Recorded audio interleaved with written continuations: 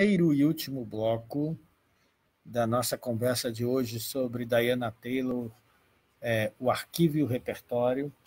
É, nós estávamos no bloco anterior falando sobre a, a, os termos usados na América Latina para referir-se à performance. Né? É, a performance inclui qualquer dos seguintes termos usados para substituí-la: teatralidade, espetáculo, ação, representação.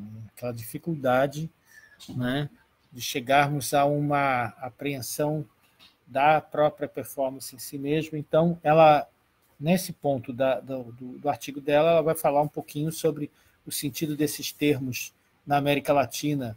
É interessantíssimo que ela, quando fala do sentido desse termo na América Latina, ela uhum. alude a muitas há muitas coisas que são muito semelhantes ao uso aqui no Brasil desses mesmos termos.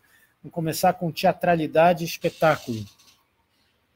É, capta um sentido construído e abrangente da performance. As muitas maneiras como a vida social e o comportamento humano podem ser vistos como performance estão presentes nesses termos, embora com um valor específico. Né? Então, o uso do termo. É, acho que eu tenho que esperar um pouquinho mais, né? porque só a Miles entrou agora, ainda não, não entrou, uma parte das pessoas deve ter ido levantado para ir tomar água. Eu também vou fazer assim, eu vou dar um tempinho, mas dá licença um instantinho, eu vou dar um tempinho aqui que eu vou beber uma água que eu estou com a garganta seca também.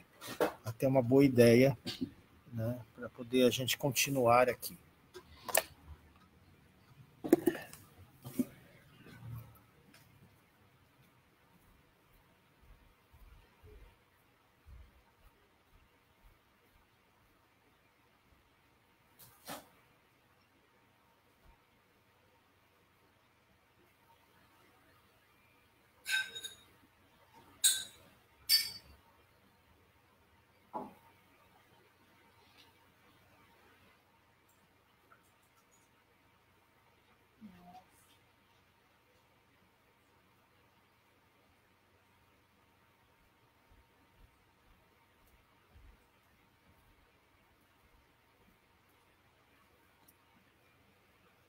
Pronto, já estou de volta.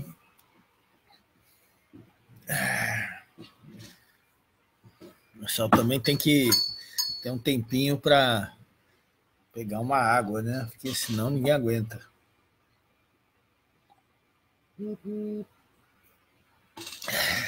Vamos lá. Então, é, teatralidade e espetáculo, né? termos que são usados aqui captam sentido construído e abrangente da performance. As muitas maneiras como a vida social e o comportamento humano podem ser vistos como performance estão presentes nesses termos, embora com valor específico. Então, é, trata-se. Eu gostei muito do movimento que ela faz, que é de tentar entender o, a, o uso dessas terminologias. Eu, foi, foi, de certa forma, que eu contei para vocês que eu tentei fazer no curso que eu dei no semestre passado, História e Teoria das Artes do Espetáculo. Eu tentei entender por que que existe essa nossa tendência tão. Ainda não acostumei com isso aqui. Essa nossa tendência tão, tão marcante, né? no sentido de é, usar, todas as vezes que a gente quer se referir a alguma performance, alguma atuação diante de um determinado público, a gente acaba recaindo na, na terminologia espetáculo. Bem que eu acho que no caso brasileiro, pelo menos, a gente está cada vez mais vendo esse termo usado para uma finalidade bem específica mesmo, como eu já anunciei aqui.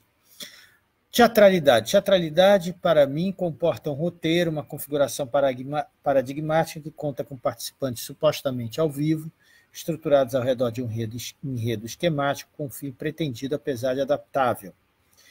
É, é engraçado porque se eu penso, por exemplo, nas ações que eu vi do Uster Group eh, em São Paulo alguns anos atrás, é, eu acho que esse conceito já desmantelava um pouco, né? Assim, o Uster Group já mexe nas limites da teatralidade, realmente. Seria possível dizer que toda a escrita do século XVI sobre o descobrimento e a conquista reencena o que Michel Dissertot denomina a cena inaugural. Depois de um momento de pasmo nesse umbral pontilhado de colunatas de árvores, o conquistador escreverá o corpo do outro e traçará ali sua própria história, a construção da cena da colonização. Né? Essa, isso é profundamente teatral. Isso, até porque vamos lembrar que ali você está na, na, na, confluência do Renascimento, né? Então é, como eu estava falando na aula de História e Teoria das Artes ao vivo, o Renascimento é quando se constrói mesmo esse olhar exterior objetivante. Né? Então, por mais que a gente possa pensar que os navegantes que chegam aqui nos anos de 1500 e pouco estavam ainda sob a influência do pensamento não propriamente renascentista, mas humanista, de qualquer maneira, já estava presente ali esse olhar que constituía as coisas de acordo com agregadas, ajeitadas para ser o teaton, lugar de onde se vê. Né? Eles viram, essa aí, acho que é o que ela está falando, que o Michel de Sertor fala, e eu acho que é verdadeiro. Eles viram né, o que encontraram como uma cena. E é desse modo, inclusive, que é descrito por, pelos, pelos missivistas, né, pelo, pelo Caminha e por outros, né, é, Hans Staden, quando vem é capturado pelos índios, depois ele narra as cenas, e as cenas são desenhadas. Há uma construção de um olhar sobre o colonizado, sobre os índios principalmente, por parte do colonizador, que é um olhar totalmente a partir dessa, dessa, dessa premissa de visão, que é a do colonizador. Então, a teatralidade torna o roteiro vivo e irresistível, em outras palavras, os roteiros existem como imaginários específicos culturalmente, conjuntos de possibilidades, maneiras de conhecer, conceber o conflito, a crise ou a resolução ativados com maior ou menor teatralidade. Diferentemente do tropo, que é uma figura de linguagem, a teatralidade não se baseia na língua para transmitir um padrão estabelecido de comportamento ou de ação, porque não é só a narrativa. Não, não bastavam os tropos narrativos que existiam na época, os lugares comuns é, para você fazer uma narração. Você estava diante de uma cena que poderia ser descrita com corpos, corpos que estão com penas sobre si, corpos que estão cobertos disso, daquilo, corpos que emanam tais coisas, etc. Uma iconografia, né? No capítulo 2, ela diz: sugiro o encontro, que o encontro colonial um roteiro teatral estruturado de maneira previsível, como que uma fórmula daí ser facilmente repetível. Tanto é que está sendo repetido. repetido perdão. Né? A, o roteiro colonial é um roteiro que está encravado nas nossas percepções né, de país colonizado. Né? A gente está até hoje tentando se livrar ou negociando com esse roteiro colonial. É... Não importa quem reencena o encontro colonial na, da perspectiva do Ocidente, o romancista, o dramaturgo ou o funcionário do governo. No elenco estão sempre o mesmo protagonista sujeito masculino e o mesmo objeto encontrado de pele escura. Né? O protagonista é sempre. Aí você vê o esquema de pensamento dos neofascistas que a gente tem aqui, inclusive no Brasil. Né? o, quem é o objeto encontrado tem pele escura, o protagonista sujeito é masculino. Né? Ele conota uma dimensão consciente, controlada e, portanto, sempre política que a performance não precisa conter. A teatralidade difere do espetáculo por ressaltar a mecânica do espetáculo. Concordo com Guy Debord, que afirma que o espetáculo não é uma imagem, mas uma série de relações sociais mediadas pela imagem. Isso é, é muito importante. Né? Uma série de relações sociais mediadas pela imagem. A imagem tem até, de certa forma, a lógica do espetáculo é uma lógica de encobrimento disso. Por isso que ela fala que a teatralidade difere do espetáculo, né? porque a teatralidade, de alguma maneira, ressalta essa dinâmica que é a mecânica do espetáculo. O espetáculo é uma teatralidade que não se revela, né? Portanto, como aponta em outro texto, o espetáculo liga os indivíduos a uma economia de aparências e de olhar que pode parecer mais invisivelmente normalizadora, isto é, menos teatral. Ambos os termos, entretanto, são substantivos sem verbo. Isso é uma coisa que eu acho muito interessante ela chamar atenção. Né? substantivos sem verbo, né? teatralidade, espetacular, né? É, não, não é espetacular que isso é espetáculo. Espetáculo, teatralidade são substantivos sem verbo, assim eles não deixam espaço para agência cultural individual como faz a performance. É uma coisa cabal.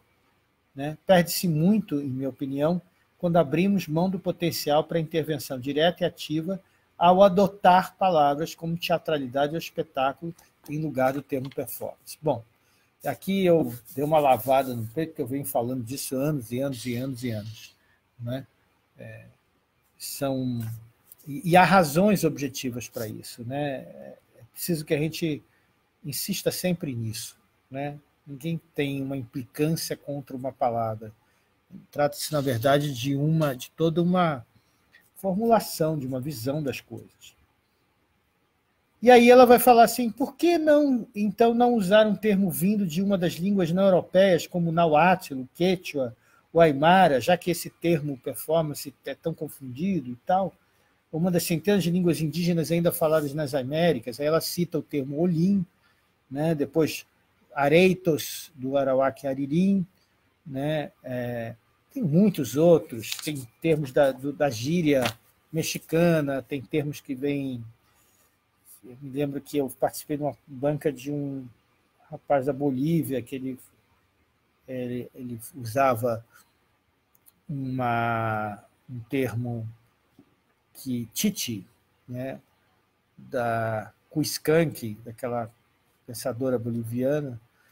É, tem muitas, muitas, muitas possibilidades e tal. Se tentou muito isso, mas como eu li, li no início esse trecho, eu não vou ler novamente, é, é justamente isso, a, decifra, a, a decifrabilidade ou traduzibilidade já se perdeu, porque o termo performance já foi capturado, eu diria já foi devorado por nós. Né? E aí, bom, agora chega o ponto em que eu posso falar, então, já do arquivo e do repertório, que é a última parte da minha fala agora. Os bravos, as bravas pessoas que, que estão aqui resistindo, assistindo até agora, né? Eu, para essas bravas pessoas, eu vou falar dessa questão. Lembra que eu falei ainda agora dos roteiros, né? O Oswaldo de Andrade, um dos, dos aforismos e para mim é um verso do, do, do Manifesto Antropofágico, o antropófago, é roteiros, roteiros, roteiros, roteiros, roteiros, roteiros. Né? E ela também falou lá dos roteiros, primeiro em relação à teatralidade, e agora aqui, ao mudar o foco da cultura escrita para a cultura incorporada, que é disso que vai se tratar agora, né? do discursivo para o performático, precisamos mudar nossas metodologias. Em vez de focalizar os padrões de expressão cultural em termos de textos e narrativas, podemos considerá-los como roteiros que não reduzem os gestos e as práticas incorporadas à descrição narrativa, ou seja, não se submetem a uma lógica logocêntrica, uma lógica de uma narrativa. Eu também aqui lavei o peito novamente, porque ao invés de focalizar em padrões de expressão cultural em termos de textos e narrativas. Né? Textos e narrativas são formas é, consagradas de conhecimento da realidade que são estabelecidas a partir de princípios ocidentalizantes, europeizantes. Né? É, não é que não haja narrativas nesse mundo performático, né? como ela está falando da cultura incorporada, mas esse mundo as narrativas são narrativas que estão, que, cujo termo narrativa descreve pobremente o que são, porque são muito mais do que isso, são ações discursivas do discurso do corpo, são performances. Né? Mas eu vou voltar um pouquinho antes é, e vou ler outro trecho que ela diz. Meu investimento particular nos estudos da performance deriva menos daquilo que ela é do que aquilo que ela nos permite fazer. Ao levar a performance a sério, considerando-a um sistema de aprendizagem, armazenamento e transmissão de conhecimento, os estudos da performance nos permitem ampliar o que entendemos por conhecimento. Esse gesto, para começar, pode nos preparar para desafiar a preponderância da escrita nas epistemologias ocidentais. Como sugiro nesse estudo, a escrita, paradoxalmente, passou a substituir a incorporação e se colocar contra ela.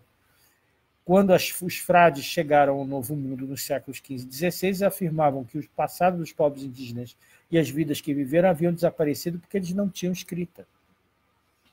Então, todas as práticas mnemonísticas de gravação dessas informações no corpo, elas foram abandonadas, foram interditadas para que a prática da escrita passasse a ocupar esse lugar. Inclusive a prática acadêmica, a universidade, isso tudo aqui que também está aqui. Né? É, nós somos, de certa forma, ao falarmos disso tudo, e eu, ao fazer isso tudo, ao fazer essas cenas e tal, eu estou, de certa forma, criando uma excrescência nesse, nessa, uma, um conflito né, proposital. Eu não tenho condições de resolver isso. Eu não vou me transformar nessa cultura incorporada. Né? Não foi essa a minha formação, mas eu tenho como criar um curto-circuito nisso né? o que a gente está fazendo aqui de certa forma. O conceito de performance como praxis e episteme incorporada, por exemplo, prática incorporada e forma de conhecimento incorporada, episteme, né? É, mostraria ser vital para se definirem os estudos latino-americanos, pois ele descentra o papel histórico da escrita introduzido pela conquista, como observa Angel Rama em A Cidade Letrada. Aí é o Angel Rama falando. E aí eu vou aproveitar para responder você, Rafael. O lugar exclusivo da escrita nas sociedades latino-americanas era tão reverenciado que assumia uma aura de sagrado. Até hoje, eu diria. Documentos escritos não pareciam sair da vida social, mas sim ser impostos a ela. Eu estava pensando, quando eu li isso aqui, eu estava pensando no modo como as pessoas são subservientes às determinações jurídicas aqui. Né? É, ser impostos a ela e forçá-las para dentro de um molde que não havia sido de modo algum feito sob medida. Embora os astecas, maias e incas praticassem a escrita antes da conquista em forma de pictogramas, hieróglifos ou sistemas de nós, ele, ela nunca substituiu a expressão vocal performatizada. A escrita, apesar de altamente valorizada, era originalmente um lembrete para a performance, um auxílio mnemônico, um roteiro. Então, quando você me pergunta, Rafael, é, existe encontro completo entre a performance do artista e a sua vida? Eu acho que ela está querendo dizer que todas essas, essas culturas incorporadas elas tinham esse encontro completo entre a vida e a performance, ou seja, a vida é performar, porque Imagina esse sistema em que você tem uma escrita que é icônica, né? como é a, a, a dos astecas, né? maias e incas. Pratica uma escrita uh, por pictogramas, por hieróglifos ou por sistemas de nós, que é nós numa corta e coisa assim, que é cálculo principalmente. Né? Ou seja, não é aí que está o conhecimento a sabedoria transmitida principalmente, a sabedoria da civilização, daquela civilização, é transmitida principalmente através do que? Da performance. Então, viver, performar, nesse sentido, é uma coisa só. É... Ela vai falar mais adiante, ah, por meio do intilili intlapali, a tinta vermelha e preta, como os nauas chamam a sabedoria associada a escritos, os mesoamericanos armazenavam sua compreensão do movimento planetário, do tempo e do calendário. Além dos tlacuilos, né, que são esses, esses armazenamentos especialistas que pintavam os livros, ah, não, perdão, além dos especialistas que pintavam os livros, que eram chamados tlacuilos, havia especialistas que os liam, interpretavam, memorizavam e comentavam em detalhes as audiências de não especialistas. Tem uns desenhos da, do período Azteca, por exemplo, tal, que são muito lindos. Assim. Eu vi isso de perto no México. Né? O que a pessoa fala sai como essa emanação. Né? Eles concretizavam. Isso é, gente, de chorar, de chorar. Me lembro quando o Adida Cultural da Embaixada do México, o Edmundo Fon, que eu soube outro dia, acho que já faleceu, que foi meu professor, quando eu estava fazendo faculdade, ele contou esse negócio, a gente ficou emocionadíssimo quando soube, né? que quando eles queriam representar alguém falando, eles faziam essa emanação que parece um parece uma coisa de história em quadrinhos, né? aquele balão, né? que você faz a história em quadrinhos, botar um balão é mais ou menos isso. Fulano está falando. E quando fulano falava, interpretava, por exemplo, um texto poético, né? O balão vinha circundado de flores. Olha que lindo, na, no Nahuatl. Né? E eu vi, assim, quando eu fui no México, é lógico que eu fui correndo ver essas coisas, queria ver de perto. Isso é efetivamente, olha, e é lindo, é de uma complexidade extraordinária. Isto é, aquilo era uma civilização que percebia um lugar que a escrita podia ter que não fosse tomar as formas pelas quais você aprendia o mundo através do corpo. Isso é muito importante. É... E sem esquecer, evidentemente, que a fala, o pensamento, está tudo acontecendo no corpo. É outra coisa que a gente frequentemente esquece, né? Ah, então tá, não, o logocentrismo, então se separa, assim, é, é só pensamento. Sim, mas o pensamento não acontece flutuando acima do seu corpo, não. O pensamento é aqui, ó, é dentro desta cachola, dentro desse, dessa cavidade craniana você não pensa fora daqui, só é possível pensar aqui dentro. Você pode, sim, como McLuhan disse, você pode exteriorizar o pensamento sob formas de livros, de, de é, extensões cerebrais diversas. Né? Mas o pensamento acontece aqui, dentro da cabeça da gente. Então, o pensamento ele é incorporado. Trata-se, na verdade, de uma espécie de distorção da tradição europeia pensar no pensamento como algo exterior ao corpo, à resistência. Ele é parte disso. Um, quem pensa, pensa no corpo. Não há, corpo, não há pensamento sem corpo, a não ser numa metafísica, é, numa uma formulação religiosa. Aí, bom, tudo bem, né? o espírito pensante de Deus e tal, etc. Bom, é, uma das coisas que me encanta no Candomblé é justamente não ter essa, essa, essa dimensão desincorporada, ao contrário. Né? O imanentismo característico. Né? Os deuses, para conversar conosco, têm de vir à Terra e incorporar, entrar nos corpos, né? ser corpo. Não há possibilidade da conversa, da troca, da transmissão de conhecimento sem o corpo. Isso todas as civilizações eh, latino-americanas, ameríndias, né, de que ela está falando aqui. Ah, os códices, esses códices que eram escritos, comunicam muito mais do que fatos. As imagens, tão densas visualmente, transmitem o conhecimento do movimento ritualizado e das práticas sociais cotidianas. Muitos outros tipos de conhecimento que não envolvem nenhum componente escrito também eram passados adiante por meio da cultura expressiva, danças, rituais rituais, funerais, Wehuentaotli. Não, deixa eu, deixa eu falar de novo. Wehuetlatoli. Wehuetlatoli, que é a palavra antiga, sabedoria transmitida através da fala, e exibições majestosas de poder e riqueza.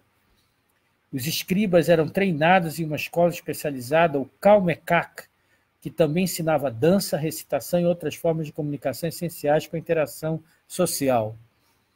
A educação tinha como foco basicamente essas técnicas do corpo para assegurar a doutrinação e a continuidade. Aí eu vou me permitir aqui, pedir perdão a você, vou me permitir aqui falar que nem Elliot Sica, quando ouviu é, é, o, aquele, o Carlos Vergara contar como é que ele foi que ele fotografou o cacique de Ramos e ele contando as histórias, narrando como que ele fotografava, o que, que acontecia no Cacique de Ramos, e o Hélio, entusiasmadíssimo, falava, puta que pariu, que maravilha, puta que pariu. É isso, né? Isso é uma maravilha. Pense só o que, que é uma Calmecac.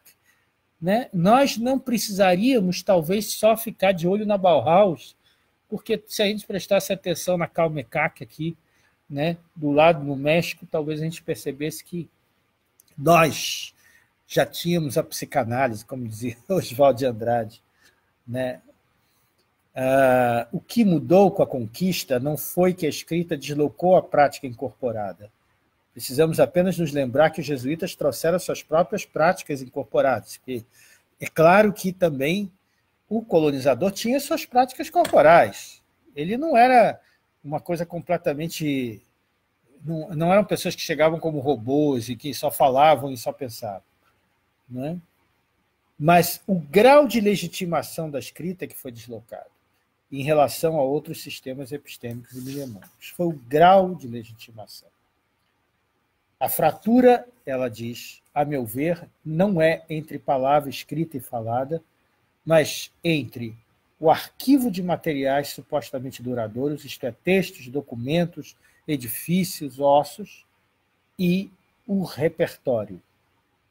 Repito, a fratura não é entre palavra escrita e falada, mas entre o arquivo e o repertório, visto como efêmero de práticas, conhecimentos incorporados, isto é, a língua falada, dança, esportes, rituais. Né? Então, operou-se uma fratura em que o repertório que essas pessoas traziam no corpo passou a não valer absolutamente nada. E isso a gente pode examinar, se vocês fizerem um exame de consciência do quanto vocês já olharam para qualquer manifestação popular, qualquer uma, mas qualquer uma mesmo. E sempre nesse olhar estava um pouco da sua pena, do seu, da sua, do seu lamentar, da sua, do seu DNA branco-europeu dentro do seu olhar que fazia com que você olhasse para aquilo e dizia assim, ah, sempre tinha aquela palavra assim piscando lá no fundo, primitivo, primitivo, desconectado desconjuntado, etc. Não há legitimidade para esta manifestação que é do repertório daquilo que existia antes do colonizador. Isto foi destruído.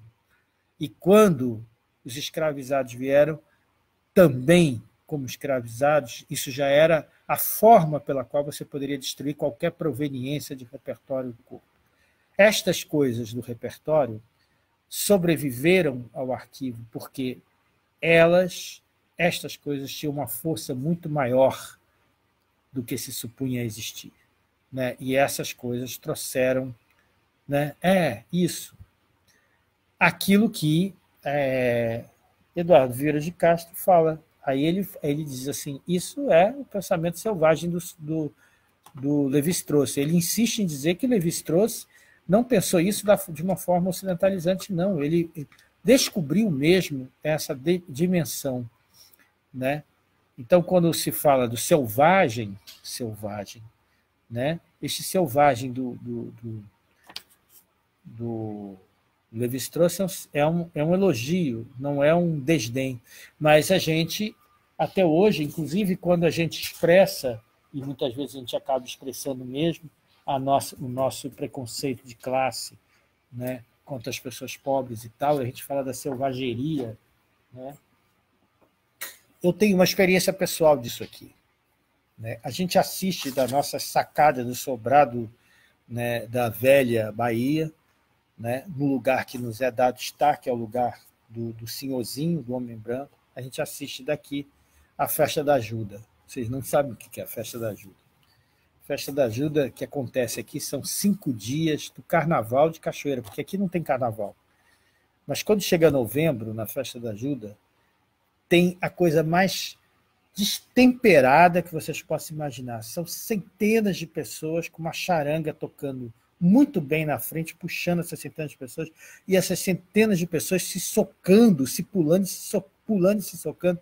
E se alguém disser assim, ah, mas é só o homem que está ali, sim, predominantemente, mas tem muita mulher também, e todo mundo é jovem, velho, tem gente velha, e fica lá todo mundo se socando naquilo ali, e aquilo ali é uma dimensão de curtição da coisa que a gente não consegue alcançar.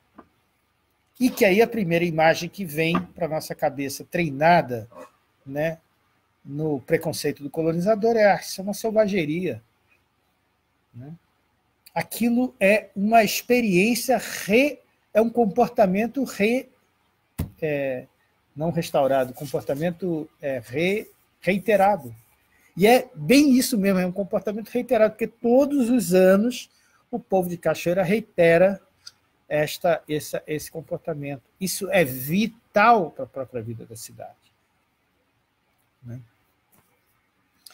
É... O fato de a memória arquival consegue separar a fonte do conhecimento do conhecedor, que é disso também que se trata, o arquivo e o repertório, a fonte do conhecimento e o conhecedor. No tempo, no espaço, leva comentários como feito por Sertor, de que essa memória arquival é expansionista e imunizada contra a alteridade.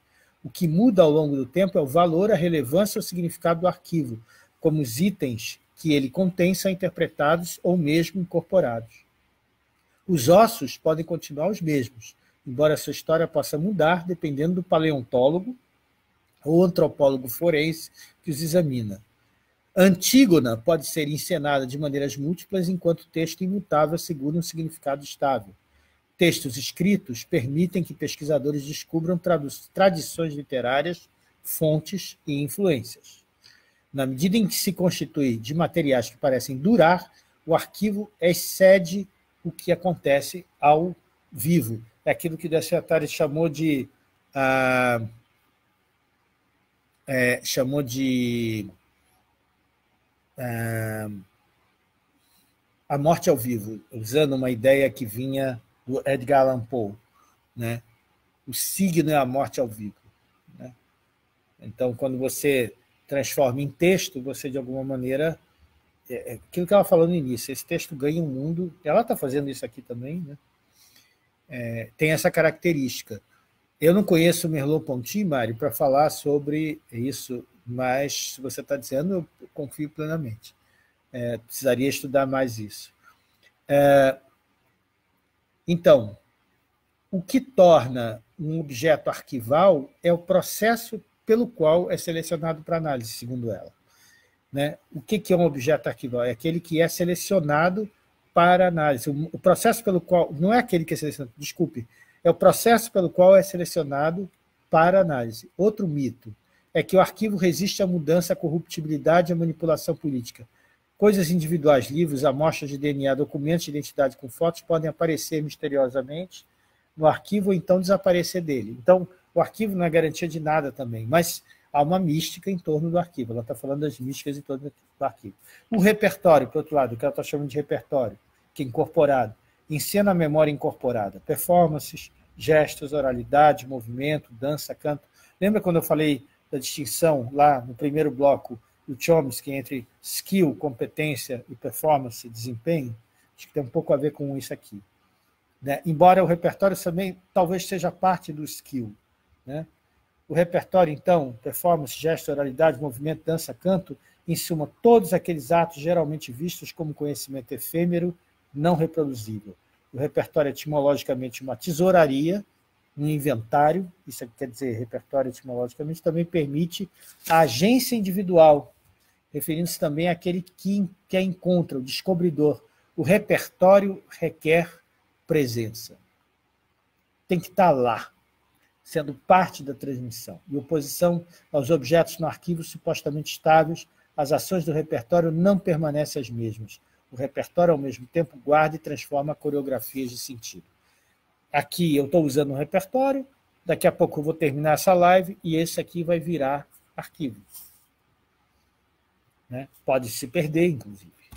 Né? Então, essa ideia do arquivo e do repertório dela é porreta, porque, inclusive, serve também para essas outras circunstâncias. Vou alugar vocês só mais um pouquinho para falar só mais uma coisa que ela fala aqui. A performance ao vivo nunca pode ser captada ou transmitida por meio do arquivo. Um vídeo de uma performance não é uma performance.